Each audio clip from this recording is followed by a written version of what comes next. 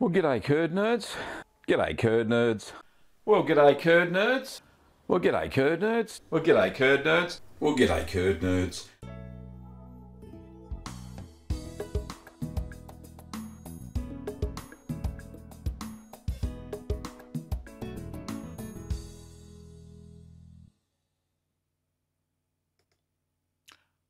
There I am again. Well, how is you? How is you? How are you all? Or g'day, curd nerds. Um, welcome to another show. Uh, glad to have you all on board with me. It looks like I've got 58 people watching, which is a bit of a record for this time of the morning, that's for sure. Um, and hoping that you can all hear me okay. Um, lots of uh, g'days to start with. We've got Anna, first one, Riker, Helen, Sharon, Zignitz, Paul, Spartan, Mexico. Um, oh, Wrapped. Oh, I can't. Reaper. Oh, looks good. Josh, Dwayne, Kieran, Jordan, Brian, Dwayne again, uh, Paul, John, Kieran, Larry, Dominique, Craig, Colleen, Tregan, Jolson. My goodness, the list goes on, doesn't it? I haven't finished. Where am I up to? Oh, I've lost my place this early. Uh, Brian, uh, Jason, Steve, Deep South Texas. Uh, okay, that'll do. That's a good start anyway. Um, just a few housekeepings this morning. Big shout out to a new patron uh, who goes by the name of Juan. That's it, just Juan. Juan, you know who you are. Um, thank you so much for your kind um, pledge on a monthly basis. Uh, cheeses this week uh, will be a mystery cheese. Those who are patrons and members uh, already have had a sneak peek of the mystery cheese. Um, it's one that I made by mistake, but uh, I've full disclosure on the recipe and everything. So it's a very uh, delicious little cheese, but uh, you'll see that um, Friday morning my time, Thursday Thursday morning. I can't remember. Thursday morning in the US and whatever other times everywhere else.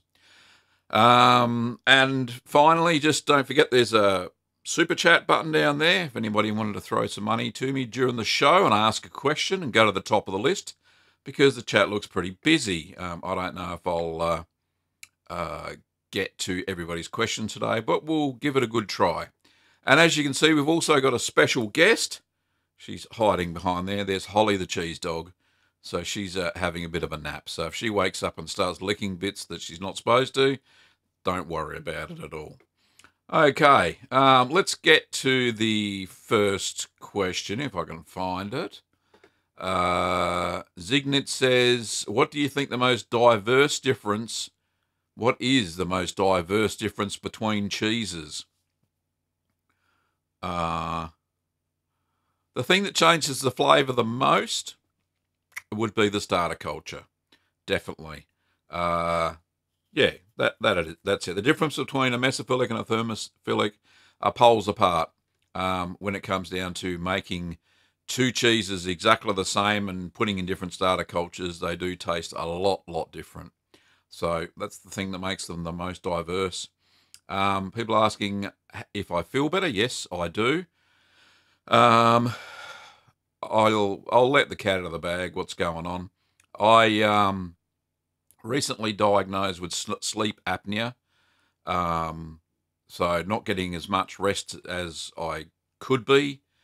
Uh, it's listed in the uh, in the chronic category, uh, and they from the recent sleep study I had done, they said that I, I have low oxygen levels 34 times an hour. So they, I'm going in for another sleep study to have one of those lovely um, CPAP machines fitted next week. So um, there, there, will still be a show, so don't worry about that. Um, I'll just be getting a, a lot better sleep and uh, feel a lot better in the morning. Um, that's happened due to a result of the headaches. Unfortunately, a, a, side effect, the medication I was on for headaches, caused me to um, have an increased appetite. I put on weight, and I'm, because of that, I've got sleep apnea, unfortunately. But anyway, that's the way the cookie crumbles. I will get over it. I'm starting to exercise again um, because the headaches are letting me do that, and uh, we'll get on with the show and get onto it. Um, next question. Sorry about that. Dominique says, uh, "Hey Gavin, how are we looking like for a video for reblochon making?" Uh, it's on the list, Dominique. We'll get there, uh, but uh, yep, like all good things, cheesy. Uh, uh, patience is a virtue. Jordan says you seem to be using pasteurized, not homogenized whole milk a lot. Can you use regular whole milk for your cheese recipes? Yes, indeed, you can. Um, as long as you still add the calcium chloride that I add for any heat treated milk, you should be fine. You'll get a little bit of a weaker curd set with homogenized milk because the flat, the fat, flat, the fat globules are a lot smaller. They're broken up by a micro mesh filter. The milk's passed through that, um, and that stops the cream rising to the top of the milk. Um, and it does uh, inhibit the uh, the curd setting process a little bit, but you'll still be able to make cheese. Um, I've certainly got away with it in the early days. That's all I used because I didn't know any better, and there was no unhomogenized um, cheese on the market. Brian asked for an Emmentaler.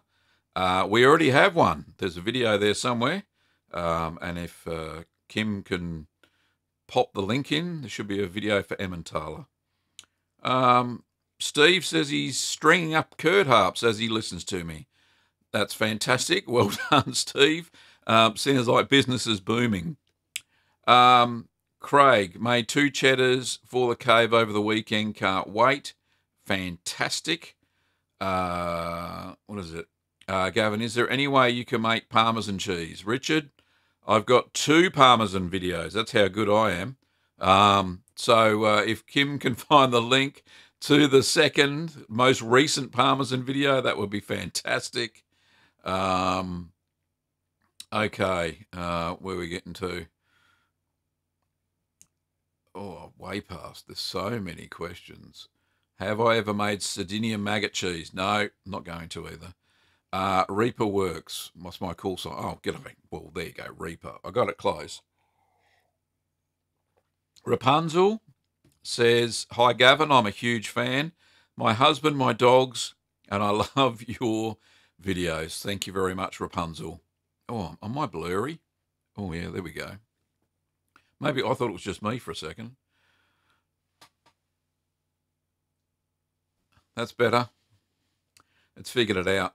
Okay. Um, all must die. You're an awesome man. Thank you very much. Uh, Kevin, Gavin made a fontina and follow the recipe exactly. After about two weeks at 95%, the skin is starting to slip off. Oh, that's no good. Why? Mmm. Maybe lower the humidity. Uh, that's usually the reason for skin slip like that. Um, so try that. Uh, so if the skin does slip off, all you have to do is then let it dry out again. And um, I'll get a bit closer. There we go. Um, let it uh, dry out again and then form a second rind and then go from there. Um, uh, that kid says, What's your favorite type of cheese and why? I don't have a favorite. They're all favorite. All the new, everything, all the new ones, all the old ones, they're all good. Um, almost die. Where did you learn to make cheese? Uh, where? Oh, I went on a cheese making course, uh, and two old ladies taught me how to make feta, and that was the first cheese ever made, and it was amazing, and I went from there. So that was really cool. Um, and haven't stopped making it since. Wendy says, I made a Jarlsberg, but left it in the brine for 21 hours. What will happen? It will be very salty, stating the obvious, I suppose. And ooh, what else will happen? It may inhibit some of the propionic shermanii uh, activity, so you may not get CO2 development like you we, we would normally see. Uh, Jeffrey says, G'day. Um, Anna says, "What's my favourite cheese to make?" Um, favorite. I like making pasta filata cheeses, even though they've been a bit of ne- my nemesis in the past. Um, pasta filata cheeses are a lot of fun to make. That's the stretchy curd ones, you know, like Oaxaca and mozzarella, um, provolone, and recently the Caciocavallo that you would have seen in last weekend's video, which was good fun. Um, Jeffrey said, I'll feel better. Thank you, mate. Uh, Kevin says he's been using CPAP for four years. It will change your life forever in a good way. Fantastic. And Jeffrey says he's got sleep apnea as well. Um, well, the world certainly is a, um, a small place. I certainly didn't think I was alone, and I have actually discovered so many people do have uh, that condition. Um, and I, I, certainly don't feel alone. And I know that I'm going to get better with a bit of sleep and some oxygen to my brain. That'd be nice. Um, I'd be able to um, help you guys more, that's for sure. Um, Chris says, Gavin, I bought the Mesophilic MO30 from you, but have no clue on how much I should use. How do you calculate how much to use? Okay, now trick with the MO30 is made by Sacco. Now, Sacco is an Italian company, and they're very obviously very uh, tight with their culture amounts because they're very, very strong cultures. So with the um, uh, the Sacco type cultures, you use a little, um, up to a, a, maximum of about an eighth of a teaspoon per 10 litres. Um, you could even use an eighth of a teaspoon up to about 14 litres. So uh, and that would work perfectly fine. Um, yeah, so that's how much I would add, Chris. Uh, even if my recipe say quarter of a teaspoon, stick to an eighth, you'll be fine. That's what I use. Okay. Um, a Aga says pay for some private scanning. I already have. It's all done. All that good stuff. Frank said, oh no, where we got? Colleen Calf lipase just would like to know if this can be used with any cheese. Um, is it made to make the cheese taste unpasteurized? No, I don't think so. um, what lipase does, it uh, performs uh, something called lipolysis, which basically means it breaks down the fats in the cheese to give it a different flavor. So um, that's what it'll do. It'll give you a piquant flavor in any cheese you add it to. There are different strengths. So there's mild, which is calf lipase. Uh, there is strong, which is either kid or lamb lipase. Um, and they are very strong. Uh, they will add a, a, a big boost to your cheese if that's what you're looking for. Okay, Frank says CPAP changed his life. Years of lack of sleep for myself and my poor wife solved. Um, takes a while to get used to. Yeah, I'm willing to ride that train until it all happens. Um, but thanks, Frank. Appreciate it. Thomas, what made me get into cheese? Good question. Um, I wanted to know what was going into my food at the time. Um, Kim and I started a uh, not a self-sufficient lifestyle, but a a more sustainable one, more friendlier footprint on the planet. And we decided to start growing our own food and we got our own chickens for eggs. Uh, and uh, cheese was kind of the next logical step. So I decided to uh, get some local milk and uh, and make some cheese. And it's just become a hobby. I just can't stop making it. It's amazing. Um, so there's the there's the answer to that one, Thomas. Um, Grant says, uh, "Did you?" Uh, no. Did you manage to find a recipe for Danish blue? I actually have something that may be similar. I did find a recipe, Grant, um, but uh, that will be coming soon. Um, I've got to free up a ripening box so I can put it in there. Uh, and Kim's put the um, how to make pecorino, pecorino romano using raw milk. Did somebody ask for that? Maybe. I don't know. Oh, I've missed a whole bunch of questions. That's why. Sorry about that. Um, my goodness.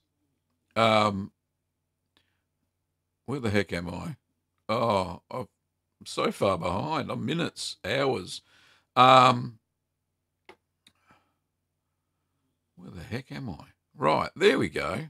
Um, Grant's, excuse me, losing my voice. Need a coffee. um, Grant says, What solution do you use to wash off any mold? Uh, a simple brine solution. Basically, that's just a cup of cool boiled water, and to that you add two teaspoons of salt, um, and then you just dissolve that. Make sure it's dissolved, and then you use a soft cloth, dip it in the brine, and you wipe it all over. And Bob's your uncle. Um, Rapunzel says, I've been diagnosed with chronic fatigue and sleep disorder also. Have not been asleep.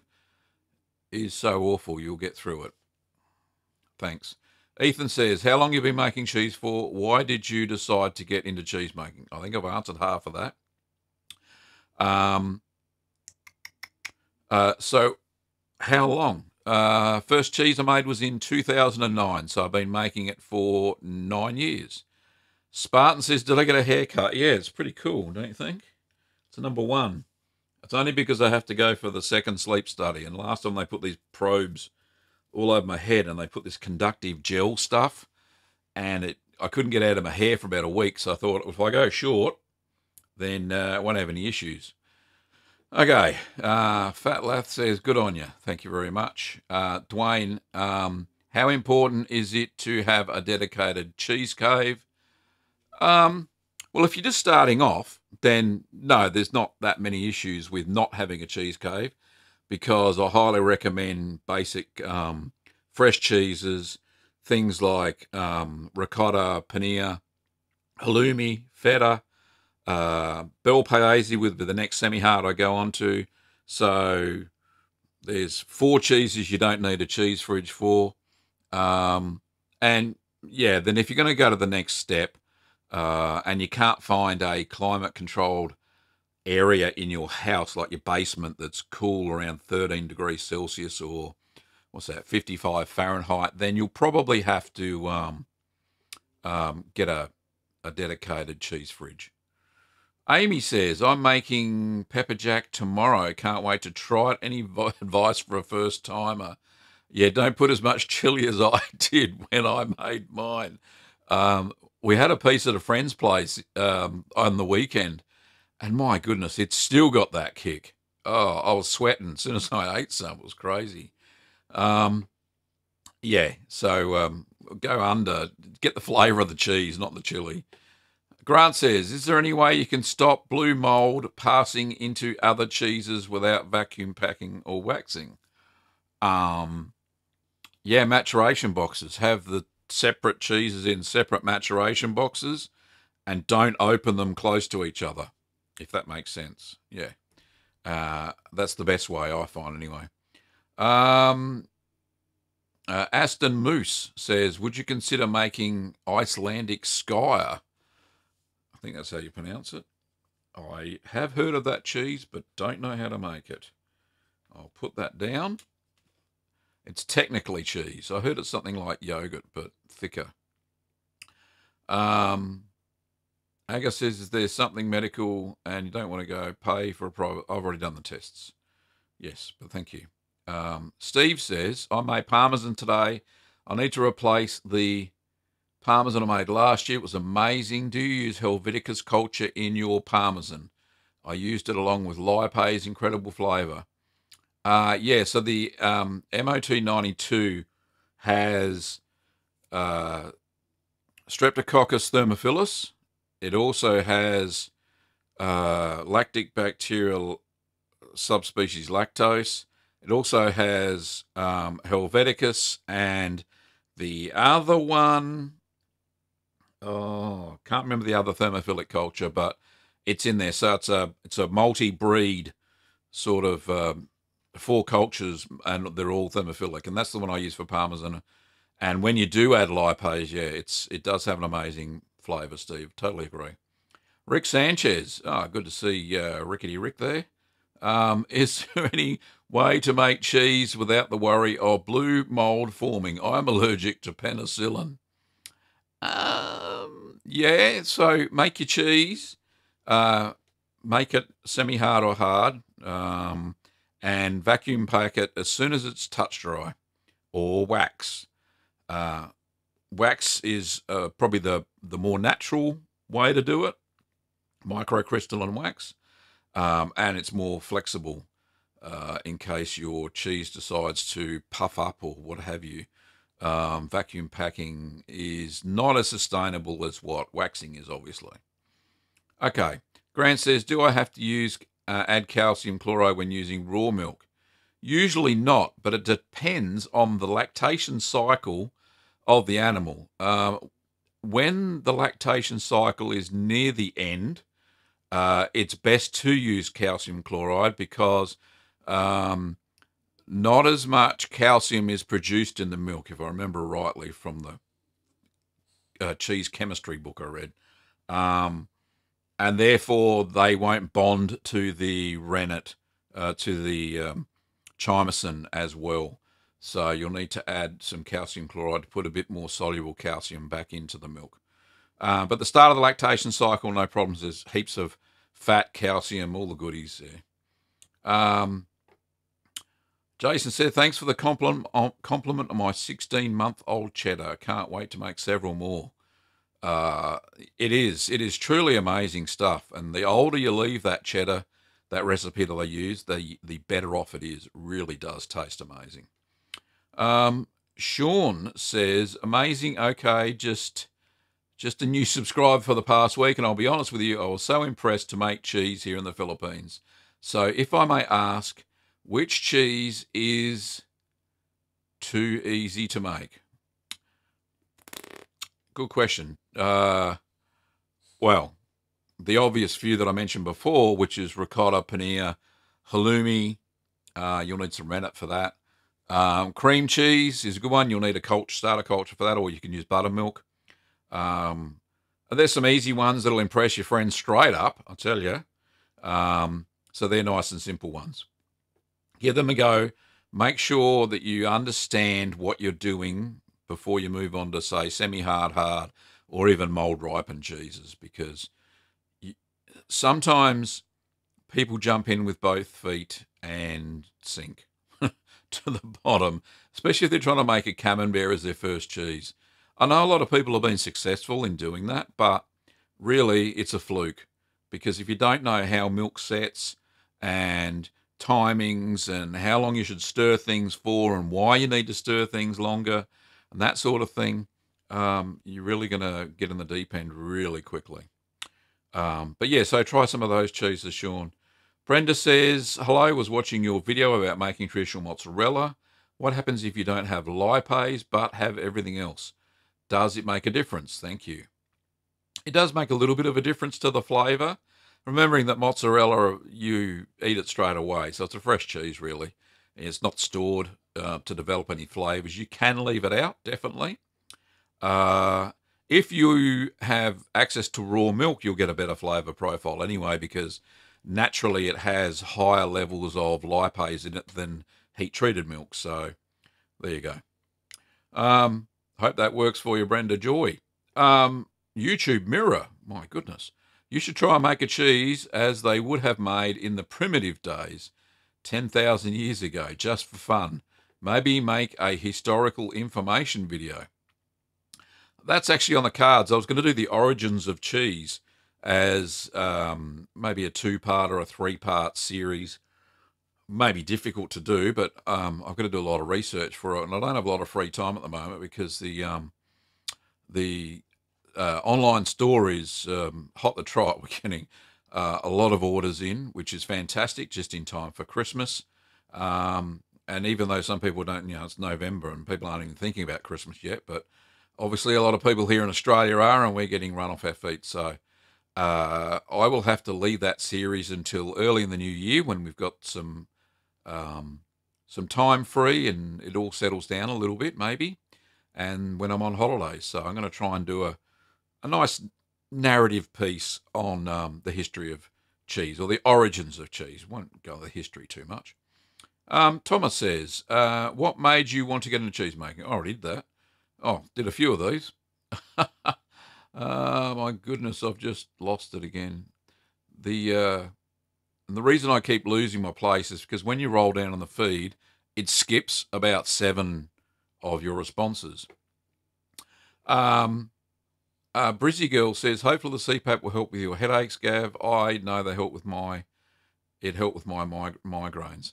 Yeah, the um, the sleep specialist doctor said it may help lessen headaches, which would be good too. So they could be, could be all. I could have had sleep apnea before I had the headaches, and or they didn't appear. I'm not sure, but we'll see. Um, Kevin says your doggy is so relaxed.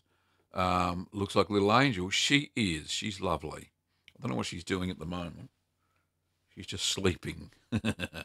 um, Aga, give Rygeost Gyost a try. Not my taste, but the Vikings love it. Righto. All these Viking cheeses. I'll have to find the recipe. The only problem with the suggestions, and I really do appreciate the ones you give me week after week, is finding recipes. Um, a lot of the cheese forums that I go on, uh, the YouTube ones, the people don't really have that many recipes. They're always asking me questions.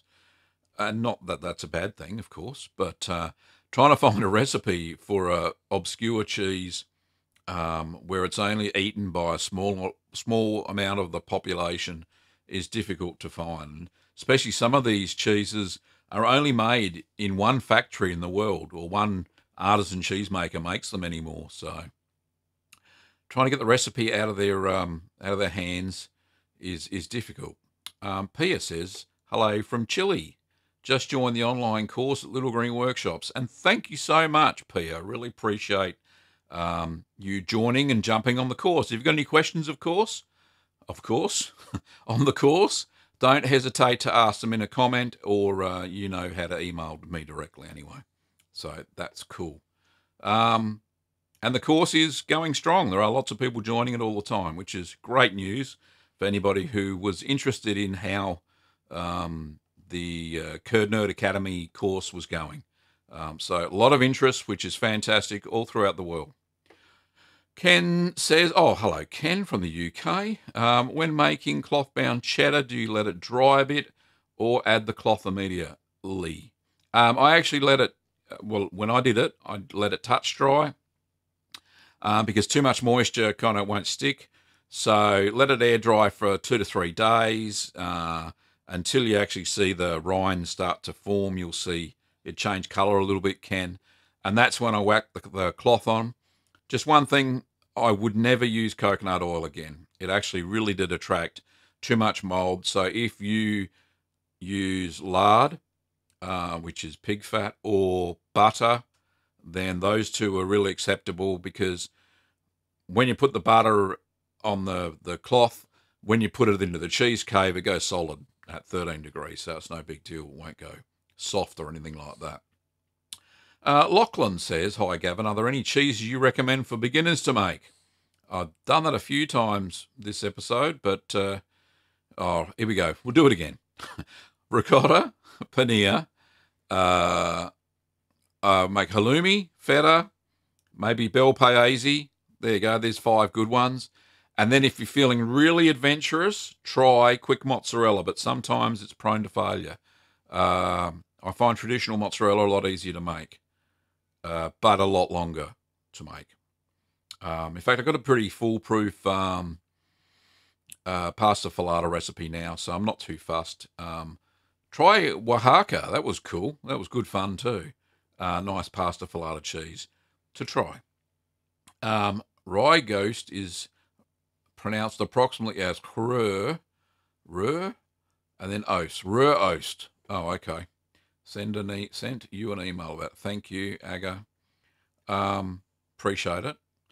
I think you did. I can't remember. I got so many emails. Wendy says, I have used vac packing and just started to use wax. My next experiment is to do doing fine cheeses. What are the best? What cheeses are best? Andrew, do I do it? What? Is that autocorrect? Something not working there, Wendy? Um, what cheeses are best? I no, don't understand. And I don't understand fine cheeses either. Have another go at that. Um, Julie says, Hi, Gavin. I'm making uh, cheddar curds right now. What happens if I heated from 86 to 92? Hang on, I'll have to ask Siri. Convert not. Oh, thanks, Siri. Uh, convert 92 Fahrenheit to Celsius. That would be 33.3 degrees Celsius. Yep, that would be fine. So 33.3, the mesophilic starter culture will still uh, be alive.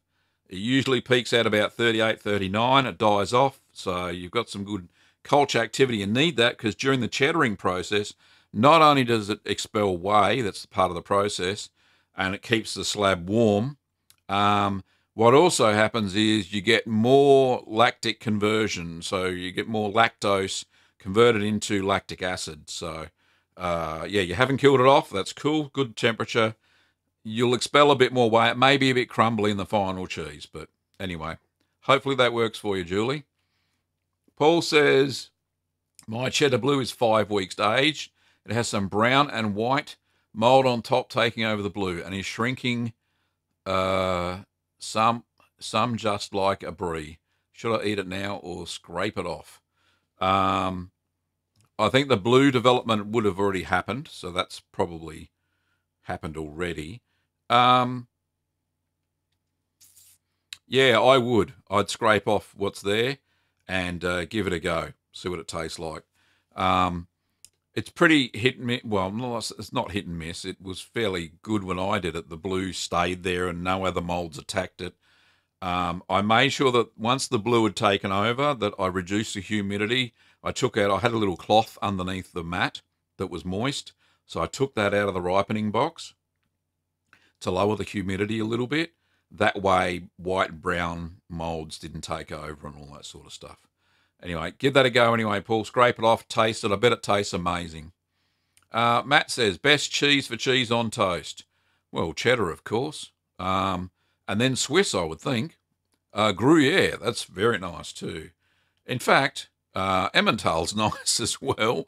Uh, let me think. Piora, that's lovely on toast. Um, oh, uh, raclette, fantastic melted with anything. There you go. There's a few suggestions. Um, Grant says, What other cheeses can I make that I can vacuum pack? Oh, lots. Um, so lots of cheeses. Um, sorry, I got a little bit distracted. There was a phone call on my phone, and I don't know what the heck was going on. Um, and it showed up on my screen. Uh, what other cheese is going to make that vacuum pack? I don't know what other cheeses you've made, Grant. That's the problem. How can I suggest what you should make if I don't know the other cheeses? Um,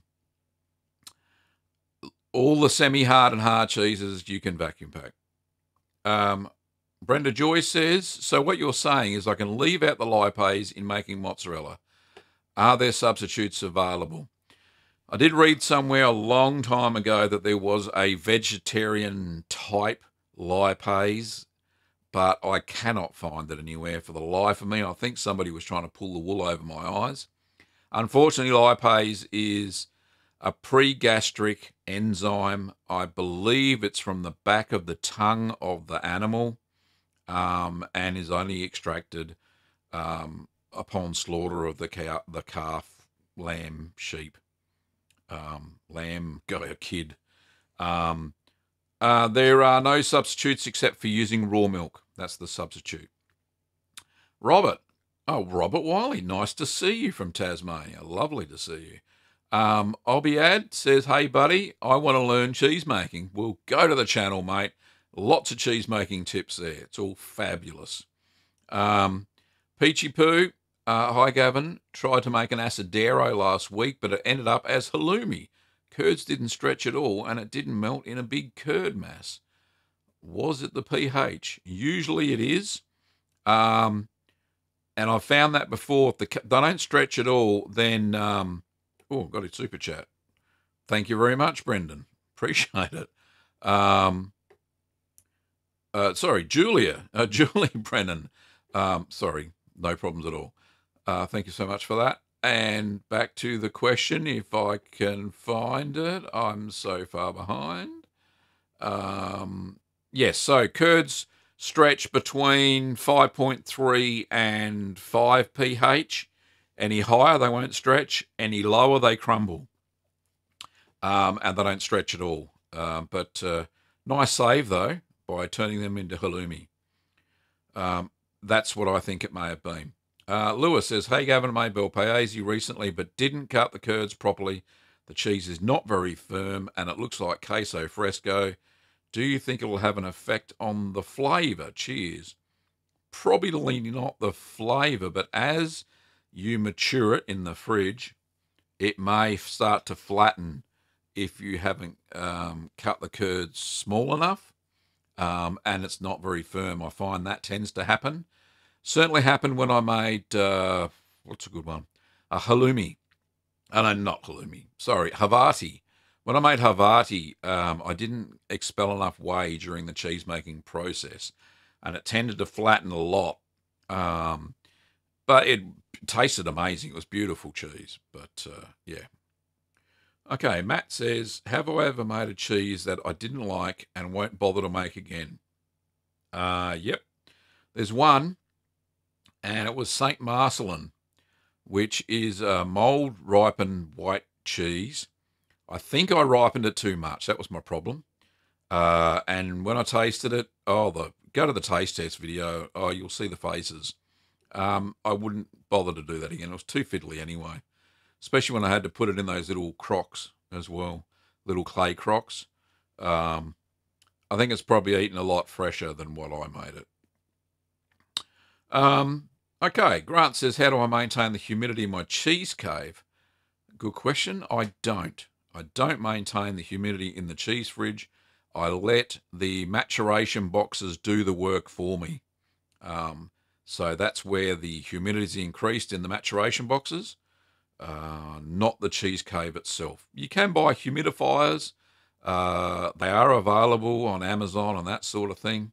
Um, but I tend to find I did try that once, and um, not a humidifier. I put a a big pot of water with lots of sponges in it, and the humidity got up to about eighty percent, which was fine. But I found that mold started growing on all the surfaces in the fridge, and that was kind of the last thing I wanted.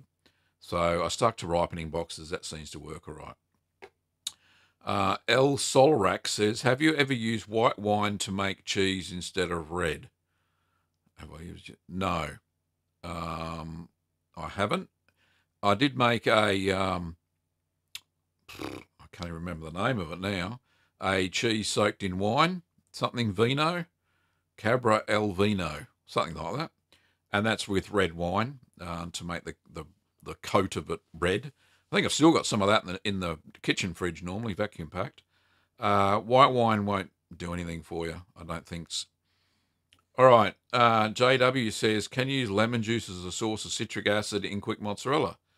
Uh, you can, but how are you going to measure the exact amount of acidity? You'd have to use, add the lemon juice, then check the pH with pH strips or a pH meter, and add a little bit at a time. So that's what I'd do. Um, so you probably could. Spartan, Mexico, do you ripen the Munster cheese in the cheese cave or out in the open? Uh, definitely in a ripening box in the cheese cave. Jordan, uh, it's our agency. If you answered my question about the. It's our agency. If you answered my question about homogenized and pasteurized milk, I thought I did. Hmm? I'll move on. Um, Stephen says, What kind of cheese would I make to impress this girl I have a crush on? Is there a romantic or aphrodisiac type of cheese? Now that is a, that is the best question I've had all day. Um, I don't know. Find out secretly what the girl's favourite cheese is, and then make it. There you go. Impress her for years. You'll even end up marrying her. Uh, I can't think of anything else more that would impress her. There you go. Uh, Jacob says, Is it dangerous making cheese? If you don't follow any sanitization, then yes, it can be dangerous. If you've got, uh, if you don't wash your hands, yes, it can be dangerous. You can introduce E. coli into the cheese.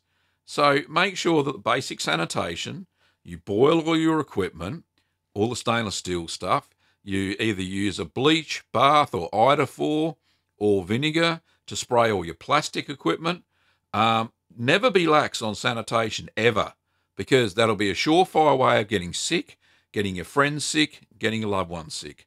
So always make sure you sanitize up front. I always do that at the start of a cheese making session. Even the cheesecloths get boiled. Um, so make sure it kills off any bacteria or any molds or any yeasts that can um, upset the human body. There you go. Good question, though, Jacob. Thank you very much. Kevin, I've never heard of mint in halloumi. Can you use other herbs in it as well? Ooh, those Cypriots would get upset if you did. Um, mint is typically used in halloumi. However, however, good question, Kevin, because um, I've actually got here in Australia. They started making some weird and wonderful types of halloumi.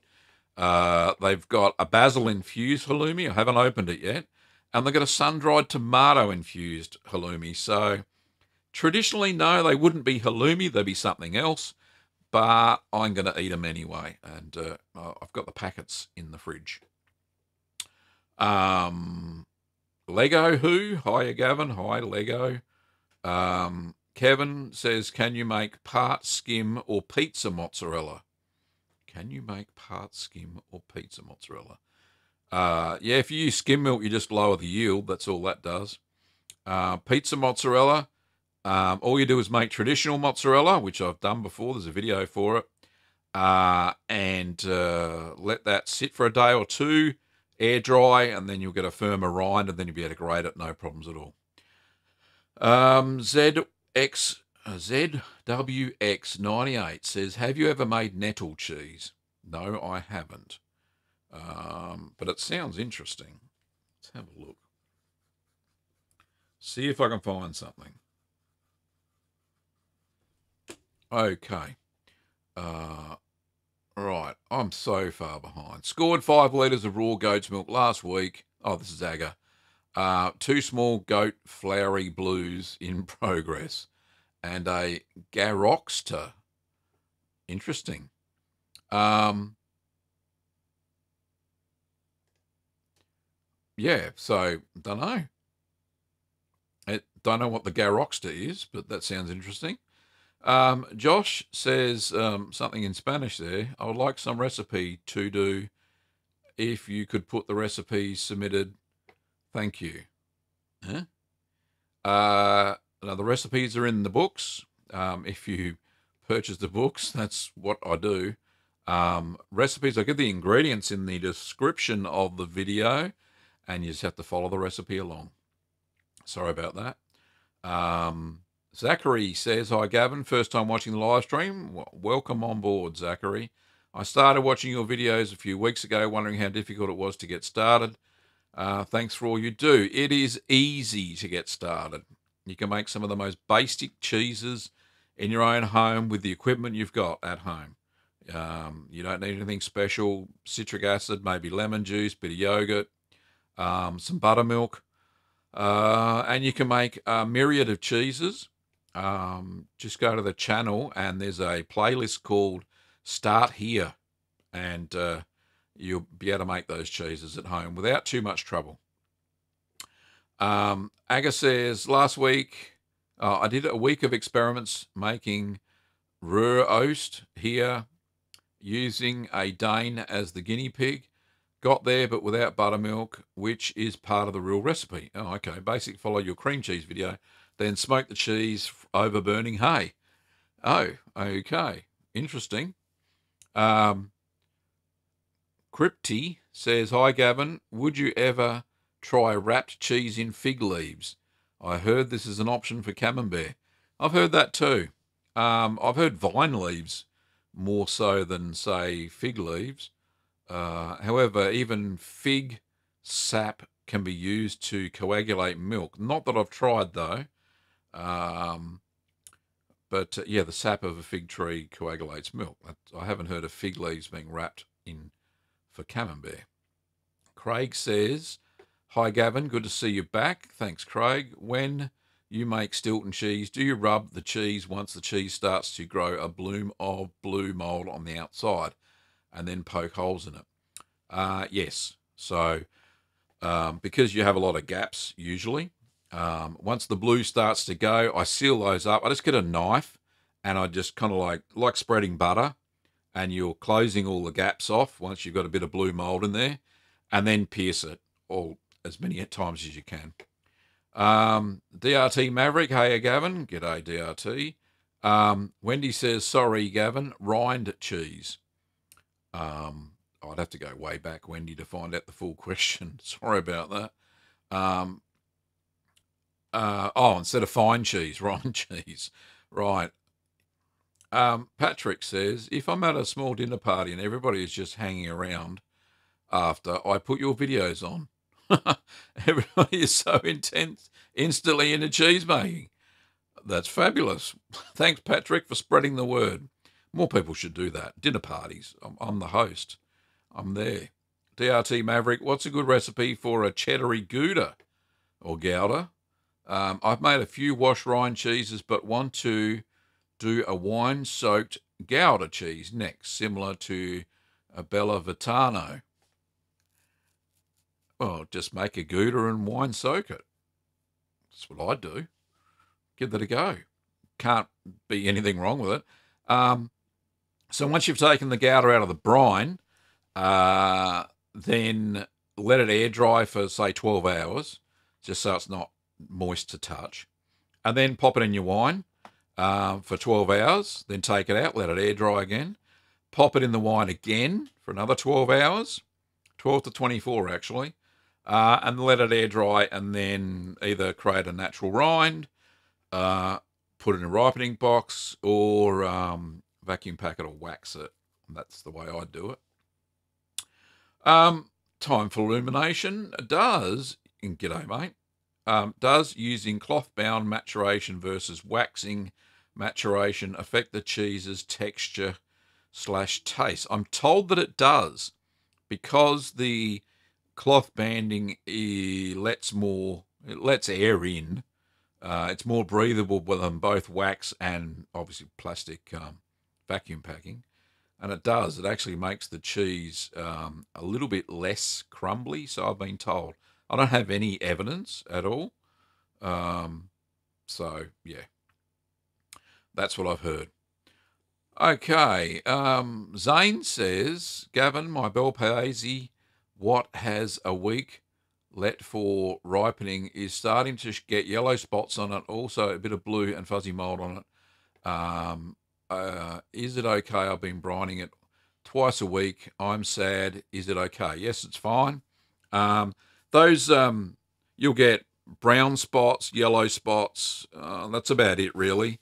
Um, and may, maybe blue mold, but that's okay. Just wipe it off with a simple brine solution until it's mature and then it'll be no issue. You'll be able to eat it and love it. The Italian Gamer says, hello from Italy. What is the hot provolone? Because in Italy, not found hot provolone. I don't know what you mean. Hot provolone? No, don't have any of that there. Hot provolone as in piquant. Provolone picante. Um, there, it is in Italy because I bought some from there. Um, provolone picante is uh, one of the versions. The other version is provolone uh, dulce, which is young or fresh. Uh, so the longer aged provolone is aged for up to a year, uh, and it tastes amazing. Um, Wilma Charlie 83. Hi, Gavin. What about putting holes in a cheese like you would a Stilton, then soaking it in red wine? Would that affect the cheese or ruin it? Um, no, it wouldn't ruin it. Um, I've actually done it on the very first um, wine soaked cheese I ever made, and I got little lines like blue veins into the cheese. You only get a little bit of that, and mold doesn't go in there unless you get a mold coating on the cheese while you're ripening it. So, um, yeah, it won't ruin it. It'll just put a little bit more wine into the center of the cheese. Um, Spartan Mexico, have I ever done Swiss cheese? Yep, I have. Two varieties. So Emmental, there's a video on that. and then there's a Norwegian twist on a Swiss cheese, which is called Jarlsberg, uh, which tastes very similar to some of the holy Swiss cheeses that are out there. So check that out. Um, got another one here. Um, trying to find it. Oh, I'm so far behind.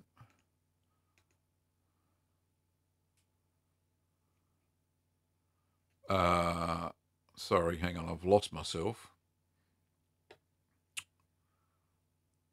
Uh, Cheddar Gouda done that. All right. Uh, Swiss.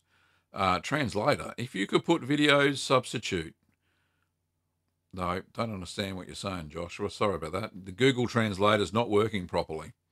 Um, one says uh, old Gouda on toast. Definitely. Um, old Amsterdam is a style of old Gouda or Gouda, and it tastes amazing. Um, when am I coming to Canada, says Kevin. Oh, maybe a while yet, mate, until I'm fully retired proper. Uh, Tammy says I'm making halloumi tonight. And there's Julie's super chat. I am way behind. But thanks again, Julie. Appreciate it. Anybody else want to make a super chat? There's the button down there, little dollar sign. It's all good. Only got 10 minutes to go. Oh, nine minutes to go. Goodness me. How am I going to get through all these? Um, hello from. No, I've done that one. Uh, one said, I've just made stingy nettle cheese. After seven weeks, it has a nice developed flavour and subtle nettle flavour. It reminded me of my youth. Lived near a dairy farm that made it. Well, I've certainly got enough stinging nettles growing in my um, backyard. That's a good suggestion, Juan. And thanks for answering uh, ZWX98's question. Uh, Manel says, Hi, Gavin. I made farmhouse cheddar. When I cut it, it was very weak. What happens that? Very weak in what way? Um, weak as in flavour. If you need more flavour, age it longer. Uh, if it was weak as in it was crumbly, then you may have stirred too much during the cheese making process. Um, that's all I can think of. Uh, Italian Gamer says hello from Italy. I've already done that about three times. Um, says based it on Gavin's Gouda recipe. Thanks, Juan. Um, El Solrak, as a follow up to the earlier question, would what would the effects be of using port, fortified wine, high sugar content versus red wine on the cheese making process? Uh, none. I've seen port infused cheese before, and it tastes amazing. Uh, the higher sugar content does seep into the curd a little bit, and that's okay. It doesn't wreck the um, the cheese making process. Um, Robert says, "Hello, have you used a Umai bag? What the heck is that?"